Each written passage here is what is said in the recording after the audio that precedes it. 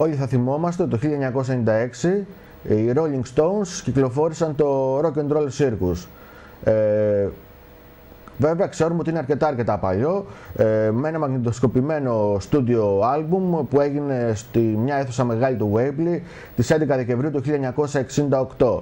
Ε, το Rock and Roll Circus και φιλοξένησε όλη την αφρόκρεμα του τότε βρετανικού rock and roll εκείνης της εποχής. Ήταν μια απάντηση των Stones, το Magical ε, Mystery Tour των Beatles, ε, αλλά Δυστυχώς κυκλοφόρησε 28 χρόνια μετά, το 1996. Ε, δεν άρεσε εκείνη την εποχή αυτό που βγήκε από τους Rolling Stones.